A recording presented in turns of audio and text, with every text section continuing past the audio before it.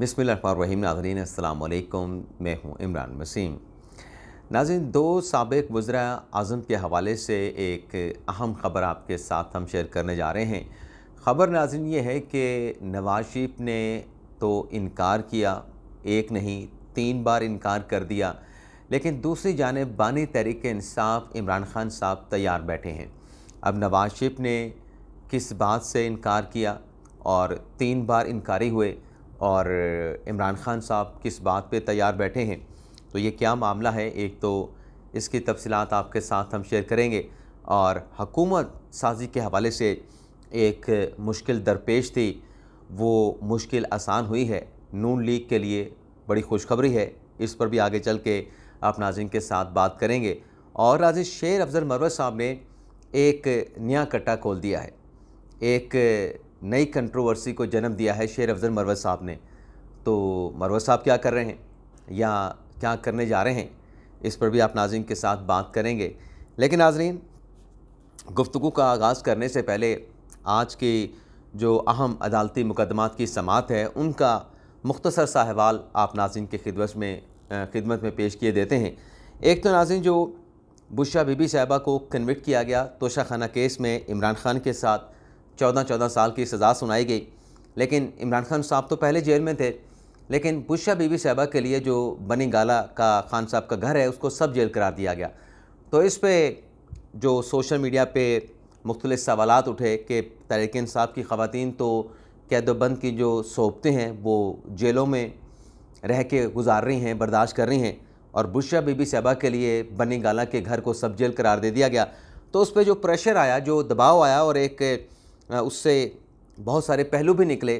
तासर कुछ और गया। तो जिस पे बुशा बीबी साहबा ने इस्लामाबाद हाई कोर्ट से रजू किया था कि मुझे बनी गाला से अडयाला जेल में मुंतकिल कर दिया जाए। तो इलेक्शन से पहले ये पटिशन इस्लामाबाद हाई कोर्ट में दायर हुई थी। तो आज जस्टिस मियाँ गुल हसन औरंगज़ेब साहब जो हैं, वो बुशा बीबी साहबा की इस पटिशन पर नाजिन समात करने जा रहे हैं। इसके अलावा नाजिन फिरदोस आशिक अवान सियालकोट से खातून रहनुमा हैं। पहले हमने देखी परवेज़ मुशरफ के दौर में काफ लीग के साथ, फिर पीपल्स पार्टी में, फिर तहरीक इंसाफ में और अब इस्तेकाम पाकिस्तान पार्टी में। तो पोलिंग के रोज़ आठ फरवरी को थप्पड़ जड़ बैठी पुलिस एहलकार को। उससे पहले आपको पता है कि कादर मंदोखेल पीपल्स पार्टी के रहनुमा जवेद चौधरी के प्रोग्राम कल तक में वहाँ पर भी फिरदोस आपा ने जो है वो अपने हाथ का इस्तेमाल किया था। तो अब पुलिस वाले के ऊपर जो है वो इस किस्म का जो है वो हमला किया गया एजॉल्ट किया गया। तो उस पर जो एफ़ आई आर दर्ज हुई है, उसमें फिरदोस आशे कवान साहबा को गिरफ़्तारी का खदशा है और ज़मानत के लिए उन्होंने इस्लामाबाद हाई कोर्ट से रजू कर लिया है। और आज chief justice Islamabad high court Aamir Farooq sahab जो हैं, वो फिरदोस आशे कवान साहबा की इस पटिशन पर समात करने जा रहे हैं। इसके अलावा नाजरीन, दो हज़ार तेरह के इलेक्शन में जो खान साहब ने धांधली के इल्ज़ाम लगाए थे मैंने आपको बताया था कि तबीयत ठीक नहीं तो उस वो चीज़ आप शायद महसूस भी कर रहे होंगे। तो वो धांधली के जो इल्ज़ाम थे उसमें चार हल्के खान साहब ने पॉइंट आउट किए थे। 2013 के इलेक्शन में एक अया सादिक साहब वाला था एक सादर रफ़ीक वाला था एक जहांगीर तरीन साहब वाला था सदीक बलोच वाला भी कह सकते हैं। और एक आ, और हल्का था चार हल्के थे। साद रफ़ीक ख्वाजा आसिफ अया सादिक और सदीक बलोच जहांगीर तरीन वाला। तो बाकी तीन हलकों से फ़ैसला तो मुसमिक नवाज़ के हक़ में आया था, एक हल्का रह गया था, या सादिक साहब वाला। तो उस पर कल आज मतलब समात होना थी, लेकिन वो आज होगी, कल नहीं हो सकी समात पीर के रोज़। आज मंगल को चीफ जस्टिस काजी फैसल साहब की सरबराही में तीन रुकनी बेंच, जो अयाज सादक की दरख्वास्त है, जिसमें इमरान खान साहब को फरीक बनाया गया है, उनके इल्ज़ाम की बिना पर इलेक्शन ट्रिब्यूनल के फैसले के खिलाफ अयाज सादिक साहब की अपील है। तो उस पर भी आज सुप्रीम कोर्ट में बड़ी अहम समात होने जा रही है। लेकिन इस समात से पहले नाजें मुस्लिम एक नवाज़ को मरीम नवाज़ को, नवाज़ शरीफ को, शहबाज शरीफ को, हमज़ा शहबाज शरीफ को एक बहुत बड़ा रिलीफ मिला है और वो भी नाजीन लाहौर हाई कोर्ट से। आठ फरवरी 2024 के इलेक्शन को जवाज़ बना के जो मुख्तलिफ़ दरख्वास्तें लाहौर हाई कोर्ट में दायर की गई, जस्टिस बाकर नजवी साहब ने उन पर समात की। पी टी आई के उम्मीदवारों की तरफ़ से जो हारने वाले कैंडिडेट से उनकी तरफ़ से दरख्वास्तें हाई कोर्ट में दायर हुई थी। मरीम नवाज़ के ख़िलाफ़ शहबाज शरीफ के ख़िलाफ़, अलीम ख़ान के ख़िलाफ़ ओन चौधरी के ख़िलाफ़ अता तारड़ के ख़िलाफ़ मजमू तौर पर अठारह दरख्वास्तें थीं। तो कल इस पर लाहौर हाई कोर्ट ने समात की। समात करने के बाद फ़ैसला महफूज किया। लेकिन रात गया, लाहौर हाई कोर्ट ने यह फैसला अनाउंस कर दिया और पी टी आई के हारने वाले उम्मीदवारों की जो दरखास्तें थी, उन्हें नाकबिल समात करार देते हुए खारिज कर दिया और कहा गया कि ये मुतल फोरम नहीं है। आप इलेक्शन कमीशन से रजू करें। तो नाजिन मैं आपको पहले ही बता रहा था कि जो लीगल कोर्स है वो हाई कोर्ट्स नहीं बनते। आप इलेक्शन कमीशन में जाएँगे या फिर आप रिटर्निंग ऑफिसर के पास जाएँगे। लेकिन अपने एक दिन कह लें, आठ फरवरी के बाद, नौ फरवरी, दस फरवरी या कल बारह फरवरी थी तो कितने दिन अपने ज़ाया किए? अपने दिन ज़ाया किए। अगर पहले दिन इलेक्शन कमीशन में चले जाते तो ये दिन ज़ाया होने से बच जाते। इसके अलावा नाजी दो मजीद आज़ाद अरकान ने, पंजाब असम्बली से उनका ताल्लुक है, हकीकी आज़ाद पी टी आई वाले आज़ाद नहीं, उन्होंने मुस्लिम नवाज़ में शमूलियत अख्तियार कर ली है।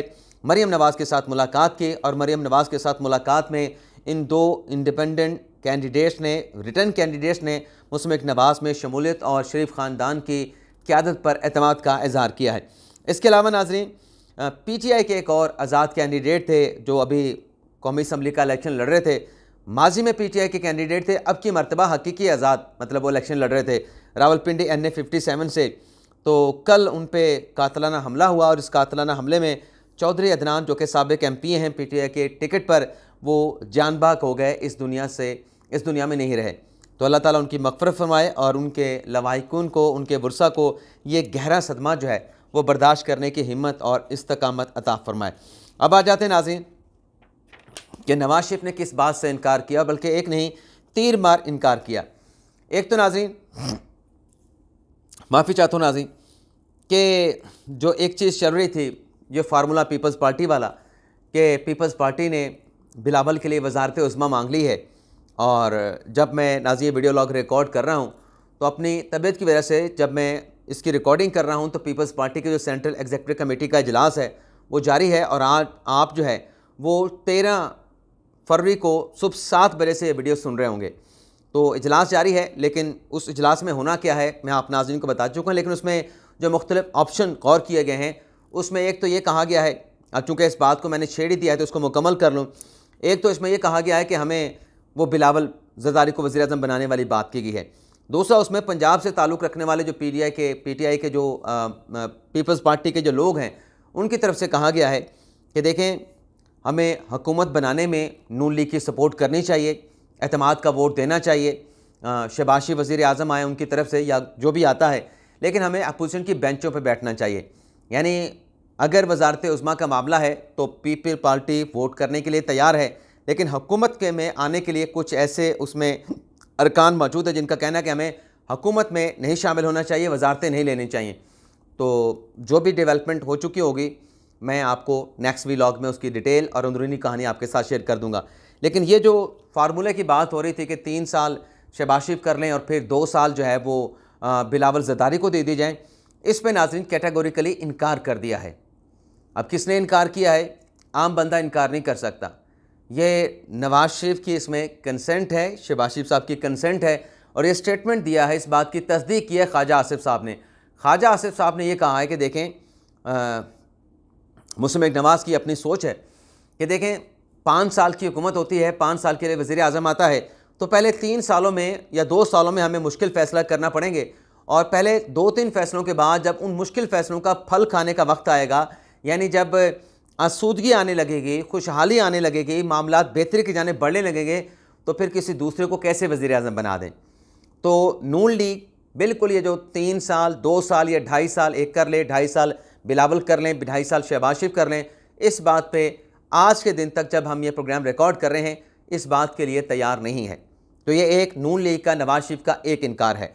दूसरा इनकार नाजिन नाम लेके ज़रा की जानब से बताया गया कि इस मुश्किल हालात में नवाज़ शरीफ साहब को यह मशवरा दिया गया कि आप छोड़ें, पीपल्स पार्टी अपनी सिंध में हुकूमत बना रही है, आप बलोचिस्तान में हुकूमत बनाएँ, मौलाना फजलरमान के साथ मिल के आप पंजाब में हुकूमत बनाएँ, डिलीवर करें, गवर्नेंस बेहतर करें, आइंदा पाँच साल का सोचें और के पी के में तहरीक इंसाफ की हुकूमत होगी, मरकज़ में आप जो है वो पीपल्स पार्टी को पी टी आई के साथ मिलकर हुकूमत बनाने दें। यानी उसमें ये जो मैंने कहा कि पीपल्स पार्टी को तहरीक इंसाफ के साथ मिलकर हुकूमत बनाने दें, ये बात शायद इस तरीके से ना हुई हो, लेकिन इमरान खान, नवाज़ शरीफ साहब से कहा गया कि आप वफाक में हुकूमत ना लें। आप वफाक में हुकूमत ना बनाएँ। वफाक में जिसने हुकूमत बनानी है, नहीं बनानी, आप छोड़ें, उनके मामला को छोड़ें। आप पंजाब में बना लें, बलूचिस्तान में बना लें, सिंध में पीपी और केपीके में आप पीटीआई पे छोड़ दें। तो इस पर नवाज़ शरीफ साहब ने इनकार किया, इस प्रपोज़ल को मानने से कहा कि इस वक्त जो पाकिस्तान के हालात हैं होना तो ये चाहिए था कि एक किसी भी एक सियासी जमात को, सिर्फ़ हमें नहीं, किसी भी सियासी जमात को जो मैंडेट मिलना था, वो ऐसे ऐसे मिलना चाहिए था कि वो सिंगल लार्जेस्ट पार्टी होती, यानी सिंपल मेजोरिटी उसको मिलती। लेकिन अब चूँकि किसी को भी नहीं मिली तो इन हालात में मुल्क की जो माशी हालात हैं, इसको ऐसे नहीं छोड़ा जा सकता। और ये गलती होगी कि हम, बल्कि ये ख़ुद गर्जी होगी कि हम पंजाब की हुकूमत लेके इसलिए बैठ जाएँ कि पाँच साल डिलीवर करेंगे वफाकी हुकूमत हम नहीं करते। मुश्किल हुकूमत है मुश्किल फ़ैसले करना पड़ेंगे। अवाम के गमों गुस्से का फैस जो है वो आ, सामना करना पड़ेगा। अपना पॉलिटिकल जो एसेट है उसको सेक्रीफाइस करना पड़ेगा। तो नवाज़ शरीफ साहब ने कहा कि हमें अगर ये करना भी पड़ा पाकिस्तान के लिए तो करेंगे।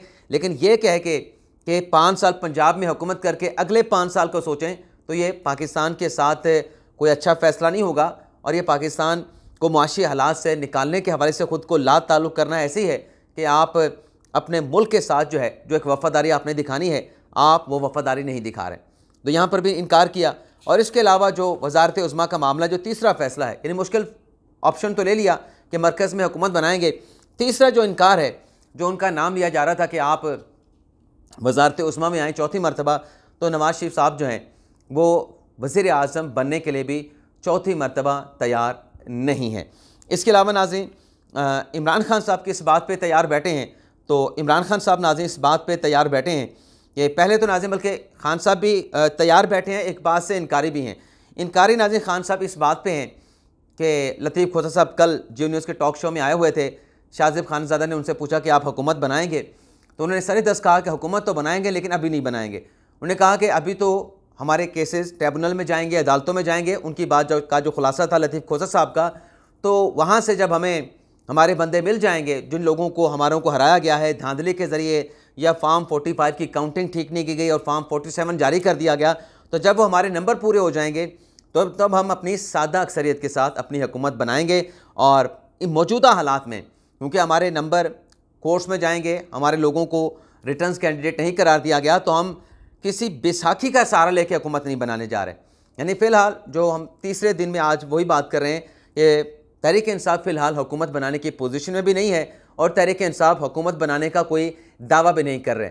लेकिन आप देखें कि सोशल मीडिया पे कैसा तूफ़ान बरपा होता है कि नहीं, जो है वो हम, जो है वो बनाएँगे हुकूमत बनाएँगे हुकूमत।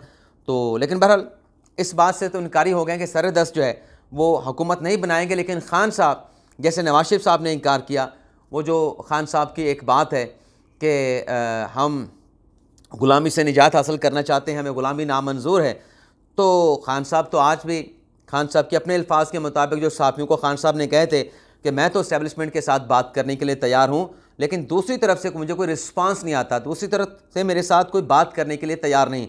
तो जो लोग ये कहते हैं ना कि खान साहब को एंटी इस्टेबलिशमेंट का वोट मिला है, खान साहब आज भी डील करने के लिए तैयार हैं। खान साहब आज भी अपोजिशन के साथ, अपना स्टैब्लिशमेंट के साथ कंट्रोल टावर के साथ बैठने के लिए और उससे कुछ बारगेन करने के लिए तैयार बैठे हैं। नवाज़ शरीफ इनकार कर रहे हैं। बारगेन वो भी उस तरीके से कर सकते इन हालात में, लेकिन वो नहीं कर रहे, वो इनकार कर रहे हैं। जिस भी मैटर पे इनकार करें, लेकिन खान साहब तैयार हैं। हालाँकि खान साहब को भी जो बात करनी है, वो सियासी लोगों के साथ करें। मौजूदा हालात में जब हर कोई बात कर रहा है, खान साहब इस बात को एडमिट करें कि मुल्क, मुश्किल, मुल्क को मुश्किल हालात का सामना है। तो बजाय इसके कि आप पिंडी की तरफ़ बैठ देखें, आप सियासी जमातों के साथ क्यों नहीं बैठते? अगर नून ले और पीपल्स पार्टी आपके साथ रबता नहीं करे, आप खुद रबता करें। मुल्क का दर्द है, मुल्क को आगे लेके जाना है, खुद रबता करें। और हुकूमत के हवाले से, हुकूमत की तश्कील के हवाले से, हुकूमत साजी के हवाले से अपना किरदार अदा करें। लेकिन बहरहाल, जो एक मुश्किल थी मुसमिक नवाज़ के लिए कि केसेस अदालतों में चले गए थे, लाहौर हाई कोर्ट में चले गए थे तो वो मुश्किल आसान होगी हुकूमत साजी में। और लाहौर हाई कोर्ट ने पी टी आई की तमाम दरख्वास्तें शरीफ ख़ानदान के ख़िलाफ़ और नून लीग के उम्मीदवारों के ख़िलाफ़ जीतने वाले उम्मीदवारों के ख़िलाफ़ इस्तेकाम पाकिस्तान के जीतने वाले उम्मीदवारों के ख़िलाफ़ उनको खारिज कर दिया है। इसके साथ साथ नाजी एम के एम के साथ आ, मुलाकात जो थी मुसमिक नवाज़ की मौकर हो गई है और अभी दो दिन एम के एम के जो लोग हैं जो डेलीगेशन है इस्लामाबाद में मौजूद रहेंगे तो दो दिनों में एम के एम के साथ एक और मुलाकात का भी इम्कान है। इसके अलावा नाजी शेर अफजल मरवत साहब जो कि पाकिस्तान तहरीक इंसाफ के रिटर्न कैंडिडेट हैं डेरा इसमाइल खान से एन ए फोर्टी वन से। उन्होंने नाजी एक नया कट्टा खोल दिया। अब नया कट्टा क्या खोला है? मैं आपको वीडियो सुना देता हूँ कि जनाब हमारे जो शेर मरवत साहब हैं, वो क्या कह रहे हैं? ये नाजिर सुनिएगा। क्या मज़ा अलबत् एक चीज़ में वाजे कर दो। केपी में पुलिस ने हमारे साथ बहुत ज़्यादा जलम किया। और इस मीडिया टॉक के ज़रिए मैं ये वारन कर रहा हूँ कि जहाँ पे भी इस जिस पुलिस ऑफिसर ने गलत एफ़ आई आर की हमारे वर्कर्स के खिलाफ, इस तमाम का खमियाजा भुगतना होगा आई जी के पी को। और आई जी के पी पी तीन आरपीओ और सात डीपीओ तैयारी पकड़े कि वो अनकरीब जेल जा रहे हैं। मैं खुद उनके केसेस उनके खिलाफ केसेस की पैरवी करूँगा। छोड़ना हमने नहीं है। जो जुल्म आपने किया हम वारन करते रहे आपको कि बाज आ जाओ बाज आ जाओ। आप ये नाजिन जो भी जिन भी तहफ़ात का शेर मरव साहब इजहार कर रहे हैं अब इसका इम्पेक्ट बड़ा नेगेटिव हो सकता है। कल आपको पता है कि इस्लामाबाद में रावलपिंडी में एक अफसोसनाक वाक़ पेश आया जिसका मैंने अभी थोड़ी देर पहले ज़िक्र किया कि चौधरी अदनान जो सबक एम पी ए थे पा, पाकिस्तान तरीके साहब के उन पर कातलाना हमला हुआ। वो जाम बहक हो गए, दुनिया से चले गए। तो मीडिया पे आके इस तरह की बात करना, इस तरह की थ्रेट करना या थ्रेट ना भी कहें, इस तरह की वार्निंग देना, मेरे ख्याल से ये लोगों की जानों के लिए ख़तरनाक हो सकता है। बड़े एहतियात के साथ आपको बात करना चाहिए, अपना मैसेज देना चाहिए। इंसाफ का दरवाज़ा आपने खटखटाना है, ज़रूर खटखटाएँ, लेकिन इस लैंग्वेज में जब बात करेंगे तो बहुत सारे ऐसे हैं जो हमारे, जो कॉमन लोग हैं, वो गालिबा उसका कोई गलत मतलब ले के कोई गलत हरकत ना कर बैठें, गलत इकदाम ना कर बैठें, कानून अपने हाथ में ना ले बैठें। तो मेरे ख्याल से सोच समझ के चलना चाहिए। इसके अलावा नाजरीन खैबर पख्तूनख्वा वजारत अला के लिए तीन नाम जो है वो सामने आए हैं। एक अली अमीन गंडापुर साहब का है, एक मुश्ताक गनी साहब का है और तीसरा नाम डॉक्टर अमजद का सामने आया है। तो ये अभी तक की खबर है। कल इसमें कोई और नाम ऐड भी हो सकता है, कोई और नाम ड्रॉप भी हो सकता है। हतमी तौर पे ये वजारत आला का, खैबर पख्तूनख्वा की वजारत आला का जो सेहरा है, वो किसके सर सजेगा? इसके लिए हमें अभी कुछ दिन इंतज़ार करना पड़ेगा। इजाज़त चाहते हैं नादरीन अल्लाह हाफिज़।